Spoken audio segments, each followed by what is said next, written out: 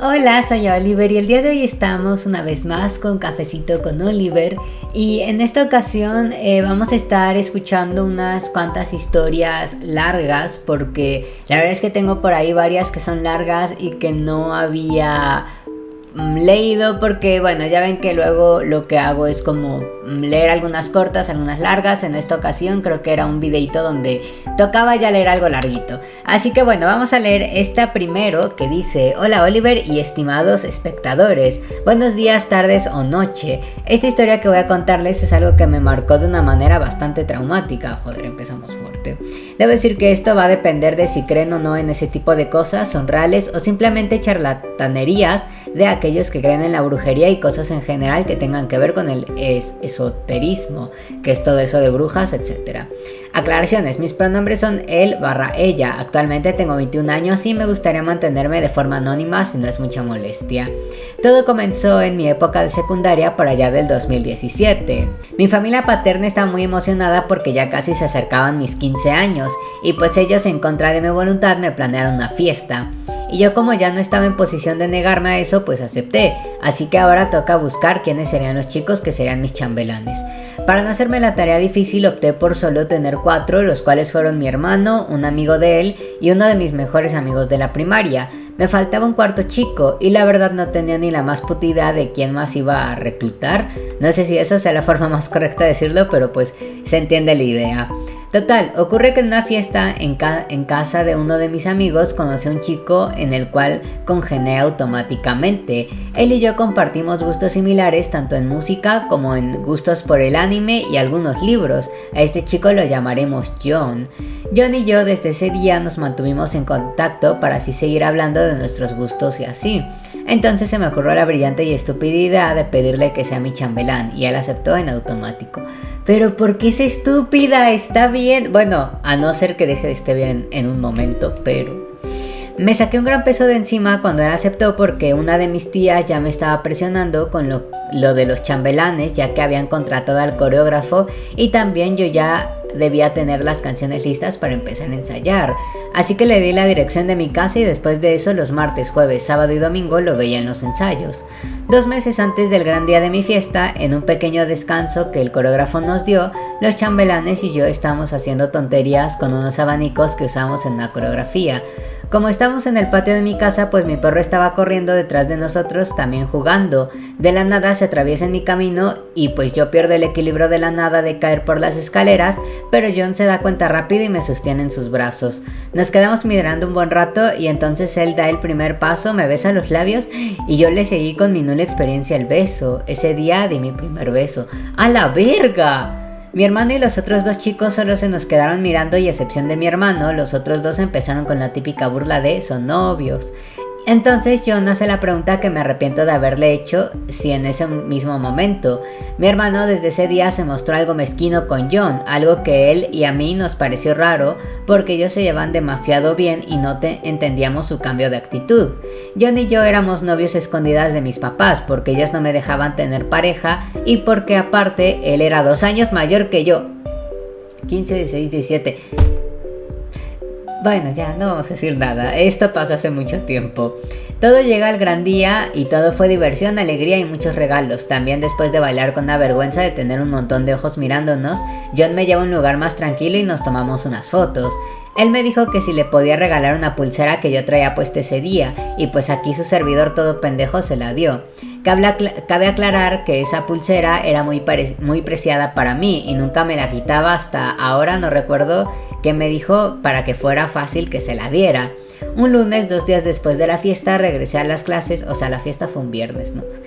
Pendejada que se me ocurrió eh, decir, lo siento.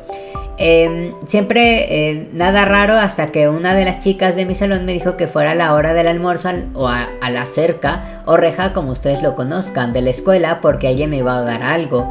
Fue el lugar citado y yo sorpresa, y estaba John con un gran perro de peluche. Recuerden bien ese perro, ok, perro de peluche grande. Yo lo recibí y le di un beso a John como agradecimiento por el regalo, ya que ese, en ese eh, eh, en sí ese día era mi cumpleaños. Ah, solo que la fiesta la hicieron un sábado. ¿Por qué dije que un viernes? El perro olía muy bien a su perfume o colonia. Ok, estoy viendo un patrón considerando que hace rato mencionó lo de la brujería y así, pero... Ok, está bien. Y era muy esponjoso, lo puse en mi cama y dormía con él. Pero después de un tiempo las cosas se volvieron un poco raras. Yo entré a la misma preparatoria que John y ahí empezó mi tortura. El vato era muy celoso y muy posesivo conmigo y... No voy a hacer el comentario ese porque no me parece adecuado. Como desde pequeño siempre me llevé mejor con los chicos, a él le molestaba que yo me juntara con mis compañeros y mis amigos de ese entonces. No sé cómo porque me por qué me pasaba esto, pero yo me distanciaba de mis amigos solo por él, era algo sumiso. La relación se volvió a lo tóxica con el paso del tiempo y una amiga me dijo que lo mejor era terminar con John porque él ya me estaba tratando como si yo le perteneciera, o sea, como una cosa, un animal que podía marcar como suyo así nada más por sus huevos. Y como yo ya no quería seguir así, terminé con él cuando salió de la preparatoria, para para así ya no tener que aguantarlo más y que siga vigilándome dentro de la escuela. Él no aceptó de buena manera, pero yo ya estaba decidido y corté toda comunicación con él en redes sociales y ya no aceptaba la cantidad de cartas y de citas que él me pedía. Pasé segundo año en preparatoria, pero algo en mí estaba muy mal. Me sentía con un gran vacío en el pecho y sentía una ansiedad por algo que no sabía qué era. Mis amigos me veían actuar raro y me veían muy perdido siempre en mis pensamientos, así que me preguntaron si todo estaba bien conmigo y pues yo no sabía qué carajos decir. No, no, nada estaba bien, algo me faltaba, pero no sé qué necesito, ese algo aquí y ahora. Ellos me ayudaron a tranquilizarme y me acompañaron a casa para que yo me sintiera mejor y con más seguridad. Mi hermano estaba en casa y se preocupó mucho por el estado en el que me encontraba, así que con ayuda de mis amigos me llevaron al segundo piso de la casa donde está mi habitación. Hasta que mi amiga, que también iba con nosotros, vio en mi cama que aún estaba el peluche del perro que John me había dado, y todos vieron que yo literal llegué y me abracé al peluche. Ellos se enojaron y me dijeron, güey, ya supera ese pendejo, si no nunca vas a poder ser feliz como antes, deshazte de ese perro. No, simplemente no podía hacerlo. Entonces mi hermano me lo arrebató y lo tiró por la ventana. Yo me asusté y fui corriendo con toda la tribu detrás de mí gritándome que ya dejara el recuerdo de ese amargo amor. Salimos al patio y yo intenté agarrar el peluche hasta que dos amigos varones me sujetaron de los brazos intentando volver a meterme a la casa hasta que mi hermano levanta eh, de nuevo el peluche y es cuando nota algo raro en él, pegajoso. El perro estaba pegajoso con algún líquido. Lleva su nariz el líquido en su mano y le llegó un olor dulce, miel. Todos nos quedamos fríos y solo pensamos en lo peor. Dos de mis amigos fueron a una farmacia por unos guantes y mi amigo entró a la casa por nuestras mochilas para sacar las tijeras y así empezamos a diseccionar el peluche, pedazos de vidrio. ¿Cómo no notó los pedazos de vidrio si se acostaba con el peluche? Un frasco con fluidos corporales de ya saben qué, una fotografía de John y mía que nos tomamos el día de la fiesta del 15, mi pulsera atada alrededor de la misma con un listón rojo, un pedazo de canela y un esqueleto de colibrí y otras cosas, pero no recuerdo qué era. Todo eso estaba dentro del frasco más grande que en efecto tenía miel. Ah, ¿Cómo? Es que a ver, me pregunto, si se dormía con el peluche y si lo abrazaba tanto, ¿cómo no se dio cuenta que había algo duro adentro? Eh, y pues está más claro que el agua lo que descubrimos. Habían hecho un amarre, todos nos asustamos bien culero y pues le dijimos a mi abuela lo que encontramos dentro del peluche. Ella se horrorizó y nos dijo que ese tipo de cosas se tienen que quemar y que yo tenía que ir a hacerme una limpia con una bruja que había ahí en el pueblo. Cabe destacar que John vivía en otro pueblo, eh, que vivía en otro pueblo, si no la supuesta bruja no me iba a ayudar a deshacer el amarre. Quemamos el amarre, me hicieron una limpia a mí y a mis amigos y yo seguía algo inquieto. La bruja me dijo que me fuera a dormir después de tomarme un té todo asqueroso que me dio y eso hice. Al día siguiente me sentía libre, la verdad no sé cómo explicar ese sentimiento al despertar y no tener ese vacío en mí. Mis amigos ya me veían mejor, alguien totalmente diferente y nuevo y con la misma luz que siempre me caracterizó. Hasta que una semana después John me va a buscar a la preparatoria y pues mis amigos no dejaron que se me acercara. Yo estaba muy asustado y nada de entrar en una crisis nerviosa. Casi no logró hablar conmigo, se subió a su moto y se fue a la carretera, no miró por dónde iba y un auto se estampó contra él. Lo iban a trasladar al hospital, pero John desgraciadamente murió en la ambulancia. La bruja me había dicho que hacerle un amarre a alguien es algo que te trae muchísimos problemas. Como él ya no anda, mandaba en mi corazón, cuando terminé con él y cuando quemé el amarre, ese fue su karma. Duró, duré dos años en una psiquiatra porque yo estaba en que su muerte fue mi culpa, aún al día de hoy recuerdo lo rápido que pasó todo. ¿Qué hubiera pasado si hubiera hablado con él, si no descubría el amarre, si no le hubiera hecho eso a mi amiga, caso a mi amiga? ¿Fue mi culpa que él haya muerto? Por culpa de esas preguntas aún debo tomar mi medicación. Necesitaba contárselo a alguien que no fuera cercano y bueno, aproveché esta oportunidad para desahogarme con ustedes. Ahora hoy en día ya no acepto regalos de nadie por temor a volver a pasar por lo mismo. Muchas gracias por leerme Oliver, cuídense y cuídate mucho. Cuídense. Ah, tomen agua, hasta aquí mi historia, perdón si algo fue larga, pero no quise omitir tantos detalles. Bye cuervitos pues no sé, me parece bien curioso todo, todo ese tema de, de, las limpias y de la brujería y así. Sí, siempre se ha dicho mucho esto de que nada es gratis y cuando haces esa clase de cosas que a mí me parecen muy desagradables, pues siempre llega el karma y llegan las cosas. Digo, yo no estoy muy metido en el tema, así que no voy a poder decir mucho al respecto, pero sí está curioso, cuando menos. Ok, aquí hay otra historia y antes de continuar, eh, les voy a hacer un pedido eh, para la gente que mande sus historias y así. Voy a hacer un pedido que vas, eh, em, no es que esté mal que lo escriban de esta manera, pero sí les voy a pedir que lo escriban de otra manera. Hay personas que me escriben los textos, vamos a ver si se ve, así como completamente todo junto y yo les voy a pedir que si de favor pueden tratar de mandarlos así, que tengan como separaciones.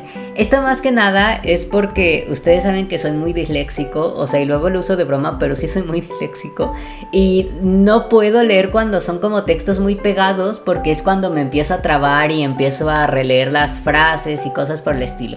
Entonces, si pueden cuando mandan sus historias, eh, ir poniendo separaciones cada que puedan. Se los voy a agradecer muchísimo porque es que si no me voy a conflictuar la vida. Pero bueno, vamos a leer esta historia que yo iba a decir de quién es, pero eh, vamos a ver porque qué tal que no quiere que diga su nombre y yo a punto de decirlo. Ay no.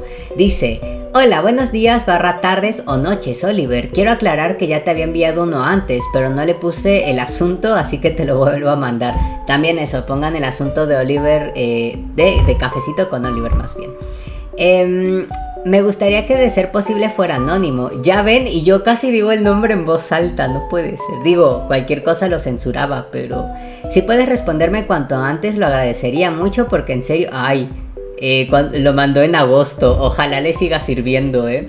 Eh, ajá, conocí a Sam, así la llamaré en esta historia, en un momento de mi vida en el cual yo me sentí horrible conmigo misma por unos problemas que tuve con gente que me dejó muy mal. Lo conocí por redes sociales, me mandó solicitud de amistad y yo acepté, ya que pensaba que era como esa gente que te seguía nomás por seguir. Total, me mandó mensaje diciéndome que a ella también le gustaba un juego llamado Schoolgirls. Yo ya he escuchado tanto de ese juego. Yo ya, yo que, yo, que, ya que yo publiqué un meme de eso y como él también lo jugaba, me dijo que si le pasaba mi usuario para jugar. Como en ese momento yo pasaba por esos problemas, pues solo buscaba distraerme un rato con alguien. Y sí, nos llevamos bien.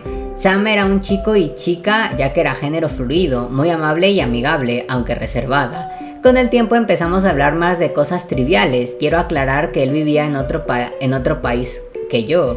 Ella me contaba que tenía un novio, el cual le llamaré Tom. Me contaba siempre que quería demostrarle cariño, eh, cuánto lo amaba, pero no sabía ser cariñosa.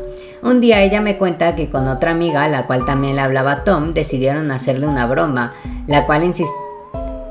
Ay, yo ya había leído este... esta historia. Yo ya había leído esta historia. ¿Por qué le estoy releyendo? Es que yo por lo general borro los correos que ya leí pero este al parecer no lo había este, eliminado. A ver, aquí ya hay otro inmediatamente, así que vamos a leerlo. Uso pronombres femeninos, persona anónima. Hola Oliver, espero te encuentres muy bien. Quería compartir esta historia contigo para saber tu opinión, ya que la que más ya que la que más suelo recibir por parte de mis amigos y familia es aléjate ya, de nada te sirve. Bueno, ya te voy diciendo yo que probablemente te vaya la misma solución, pero vamos a leer primero. En el 2021 conocí por Instagram a un chico trans, debido a que él solía comentar frecuentemente en mis publicaciones. En ese entonces yo tenía 15 y él 14. Nos llevábamos muy bien, hablábamos de nuestros pasatiempos y videojuegos favoritos. Yo en ese entonces pensé que biológicamente era chico, hasta que me pidió que hiciéramos llamada de voz, que fue cuando descubrí que era biológicamente chica, a lo cual me asusté un poco porque yo ya me había empezado a enamorar. Bueno, no, sí, está bien. No, eh, es que va a decir, ¿y eso qué tendría de malo? Pero no, sí hay que tener en mente que hay personas que son heterosexuales o, o gays en, en distintos casos, ¿no? Hablamos de nuestros pasatiempos y videojuegos favoritos. Yo en ese entonces pensé que biológicamente era chico. Ay, esto ya lo leí. Es que les digo, es lo que les digo. Si me ponen todo así en una sola, me, me, hago bolas y bueno. Habían pasado ocho meses desde que lo conocí. Yo en ese entonces sí dudaba mucho de mi sexualidad. Actualmente ya me encontré como pansexual. Ya entonces me calmé y continué hablando con él, confirmando que si él es un chico trans no me hizo perder el interés en él y me le declaré. No me importaba si me rechazara, aún seguiría siendo su amiga. Él dijo que era muy lindo de mi parte el que yo sintiera eso por él, pero no me dio ninguna respuesta. De todos modos lo dejé pasar y traté de resignarme. Luego de tres días me dijo que él también sentía cosas por mí, lo cual yo estaba muy feliz y comenzamos a ser pareja. Todo iba bien hasta que comencé a sentir en nuestras llamadas que su tono de voz cambió, algo le inquietaba. Le pregunté qué era y él me dijo que no era nada, mas no le creí cuando en sus historias y publicaciones ponía cosas como nadie me ama y yo nadie y yo a nadie amo. me sonó extraña la frase, lo cual me dolía mucho y decidí confrontarlo. Me volvió a decir que no era nada y que no tenía nada que ver conmigo. Cuando estábamos por cumplir un año, casi cerca de mi cumpleaños, él me deseó un feliz cumpleaños, pero me dijo que debíamos hablar. Y sí, efectivamente me dijo que no sentía nada por mí, ya que no quería seguir mintiéndome y yo le dije gracias por ser honesto. Continué con mi vida y él con la suya y quedamos como amigos. En ese entonces yo ya tenía 16 y él 15. Cuando me pasó mi cumpleaños número 17, él me felicitó y nos pusimos a charlar un poco y él me dijo que seguía teniendo sentimientos por mí, a lo cual yo me quedé confundida y pensé que simplemente me estaba usando, ya que primero me dice que nunca sintió nada por mí, pero luego dice que sintió algo. Fue lo que le dije y traté de explicarle. Yo ya estaba un año de cumplir 18 y cuando eh, eso pasó, eh, pase, él tendría 16, por lo que le dije que aparte yo ya, yo no sé qué siente él por mí, yo no quiero tener problemas legales. Él me dijo que si le podía esperar y le dije que me lo iba a pensar. Hoy en la mañana publicó un video de que su amor de la escuela se fue con su mejor amiga y él estaba muy triste, por lo que me escribió y me dijo, estuve enamorado de él así como de ti también, pero mi amiga me lo quitó, así que no sé qué hacer. Le dije que simplemente lo olvide y me mencionó lo de estar juntos. Le dije que tenía que irme a dormir y, él entendió. Ay, te amo. ya me voy a dormir, con permiso. Actualmente yo tengo 17 y él 16. Yo en este punto ya no sé qué siento por él, ya que no descarto el hecho de que aún pueda tener algo de sentimientos por él, pero no estoy segura. No me siento cómoda, estoy confundida, además de que no quiero tener problemas legales. ¿Qué me recomiendas hacer? Aléjate ya. ok, no, vamos a poner las cartas sobre la mesa. Eh, aléjate y ya realmente es la conclusión de todo, pero vamos a poner bien las cosas y vamos a hablar al respecto. Es complicado, como ya he hablado mil veces, las relaciones a distancia son un problema, especialmente con este tema de si eres una persona insegura, eh, ya sea que tú seas persona insegura o que la otra persona te esté haciendo sentir como una persona insegura. Eh, a veces con las relaciones a distancia es muy difícil el poder decir, ok, eh, el poder estar 100% seguro o segura de que tu pareja no te va a engañar o no va a estar viendo a otras personas, ¿no?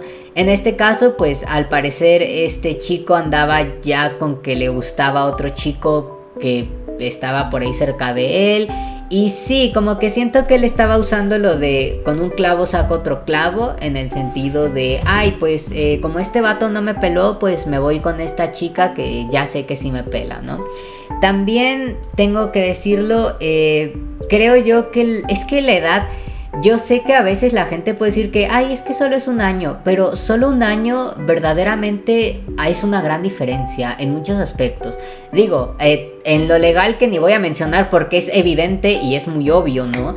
Digo, en este caso incluso si la relación fuera bastante bien y ustedes vieran que sí puede funcionar y todo eso, pues eh, se tendrían que esperar un año, ¿no? Eh, ya cuando tú cumplieras 18 y que él todavía fuera menor de edad, pues simplemente se dan ese año, eh, digo, siguen platicando, solo ese año no son algo oficial y ya en cuanto los dos tengan 18, pues otra vez salen y no pasa nada.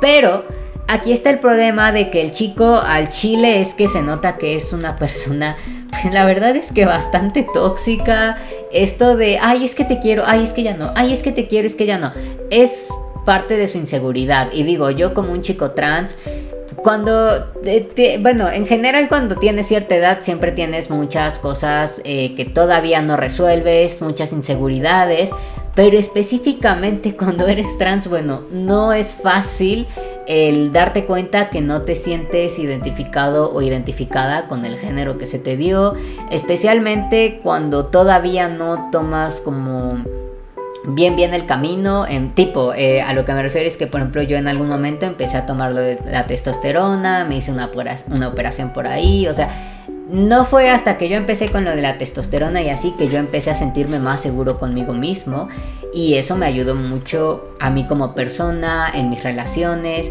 Una persona trans que todavía no pasa por eso suele pasar, digo, hay personas que no, afortunadamente, pero hay otras que sí están todavía en un momento muy decisivo de su vida donde se sienten pues que no está bien nada, ¿no? Y entonces tendemos, eh, digo, repito, porque yo hablo por experiencia, a tomar decisiones eh, pues que no de las que no estamos muy muy seguros o seguras, ¿no?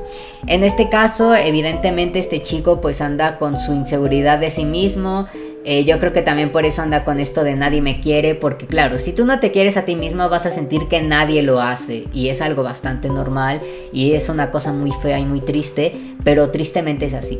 Yo al chile, al chile, al chile y no es por hacerle el feo a este chico, pero sí deberías tomar tu distancia porque lo único que vas a conseguir es hacerte daño a ti e incluso hacerle daño a él de forma indirecta. O sea, si él no va a estar bien en una relación contigo, se va a estar haciendo daño por saber que te está haciendo daño.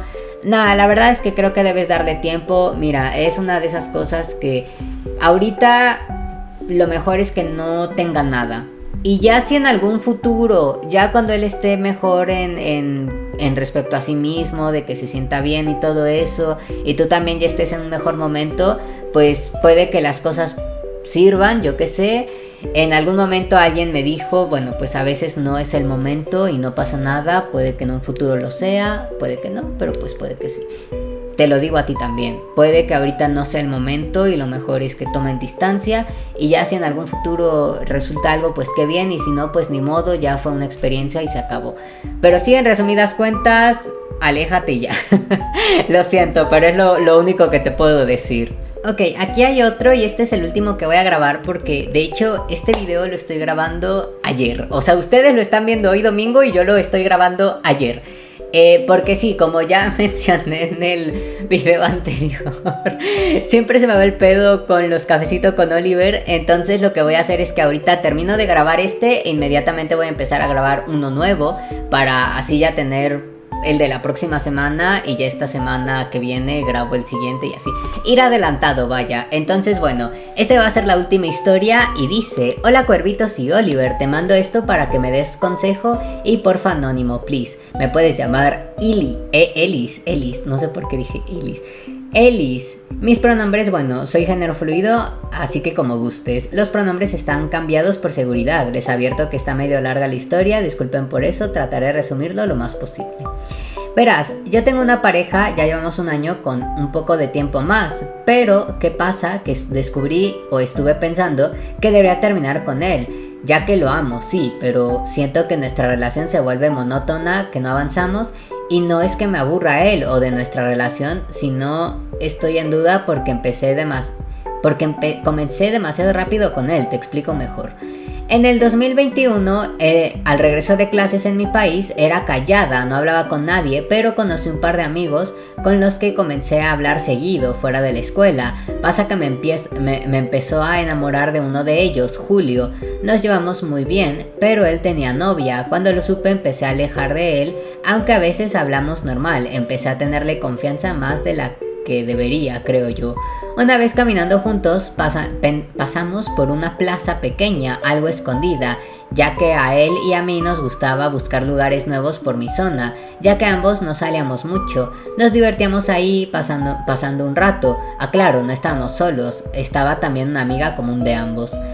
Estuvimos eh, ahí hasta que vivimos como vimos cómo la novia de Julio se sentaba en un banquito con un chico que ninguno conocía. Empezaron a abrazarse. Julio quería acercarse, pero nuestra amiga lo detuvo. Julio era explosivo, podía gritarles por eso. Al final tuvimos que irnos o yo lo tuve que hacer ya que mi madre me estaba llamando.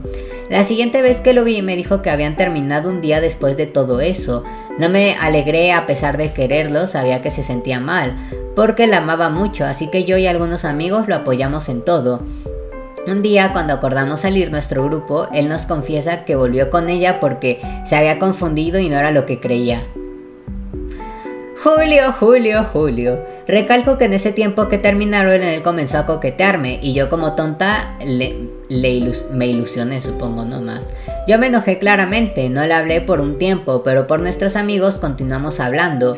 Ahí pasó de nuevo un chico de grupo, un, grupo de chicos. Le dijeron a Julio que su novia andaba de coqueta con ellos.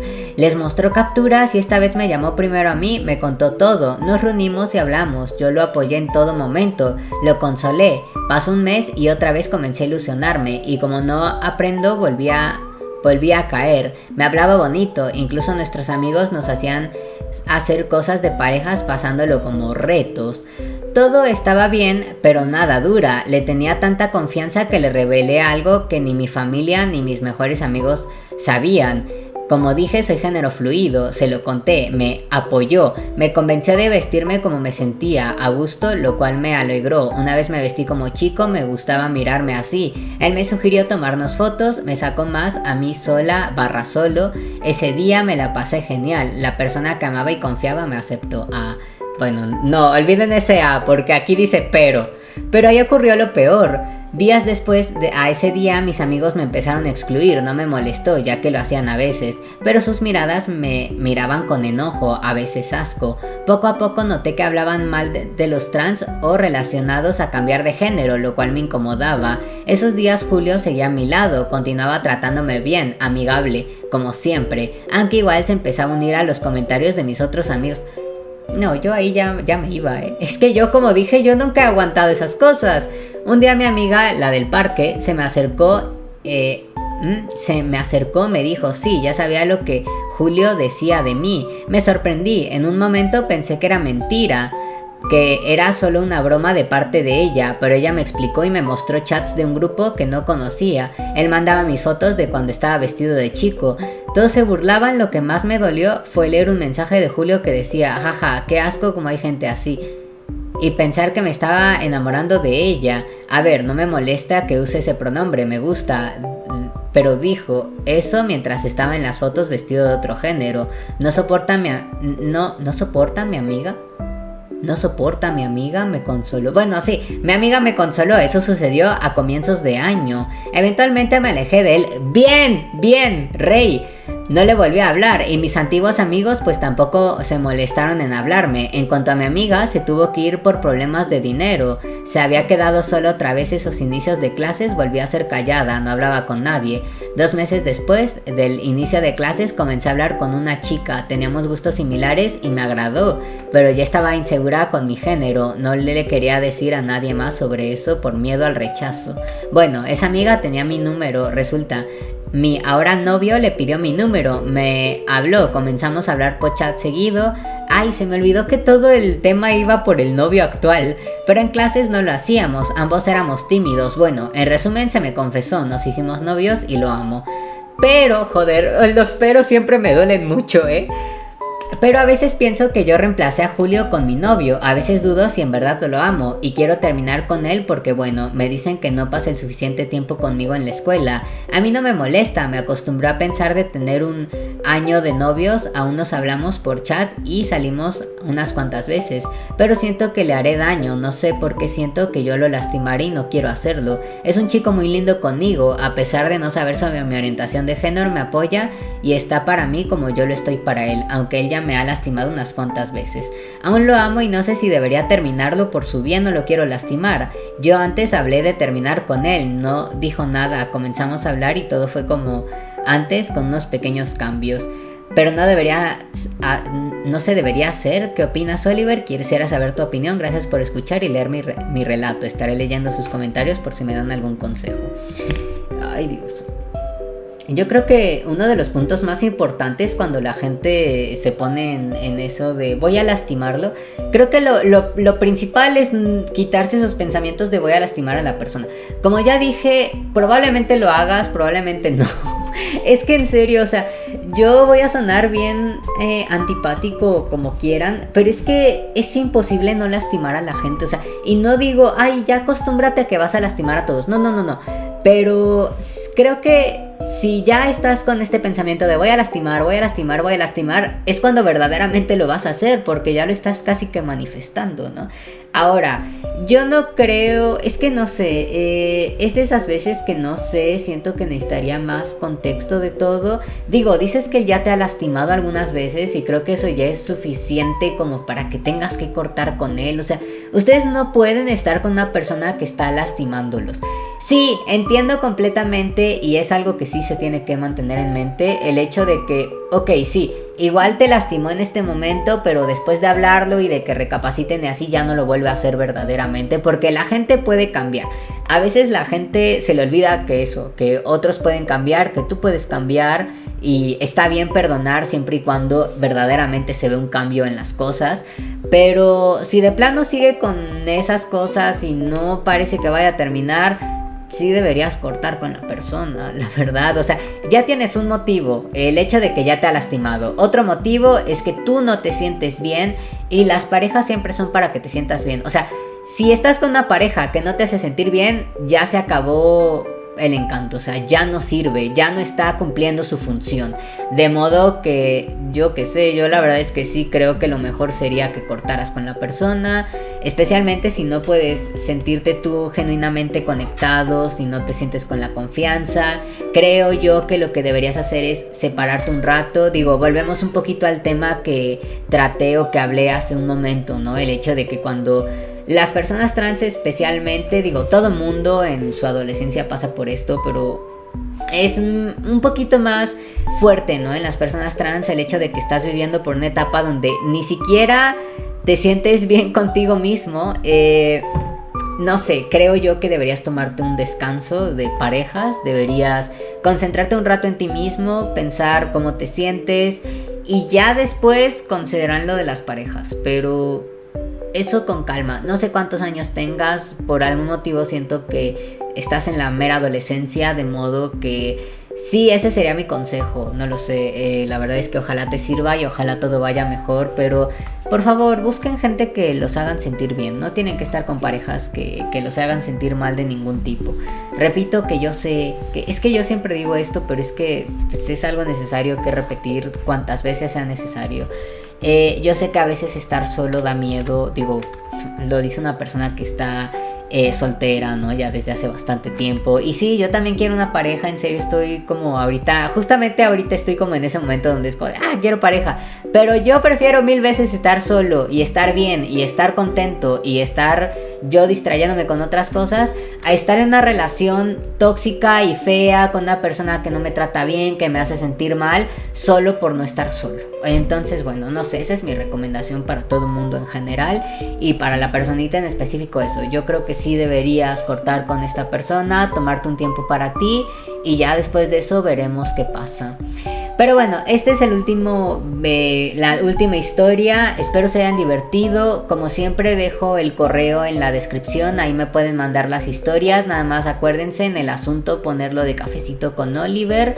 También, eh, si de preferencia, eh, sus pronombres, su edad, si pueden, si quieren. No es obligatorio, pero también ayuda un poquito a saber como pues a, dar mejores consejos, ¿no? también ¿Qué otra cosa? Ay, bueno, eso de que por favor no me escriban la plastota de palabras porque yo con mi dislexia no puedo, no puedo leerlas. Así que sí, si pueden estar separando por renglones, me harían un parote. Y ya está, creo que eso sería todo. Voy a dejar en la descripción al artista que hizo las miniaturas de todos estos eh, videos de cafecito con Oliver.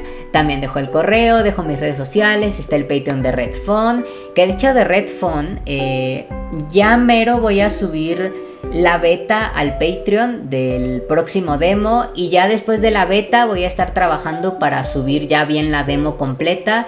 No sé cuándo la vaya a subir ya para todo público, pero quiero pensar que va a ser antes de que termine el año, quiero pensar. Igualmente ahí está el Patreon por si gustan apoyar, también están los miembros del canal y todas mis redes sociales, bla bla bla. Espero hayan tenido un bonito día, tarde o noche, depende de cuando estén viendo este video y nos vemos a la próxima. Bye.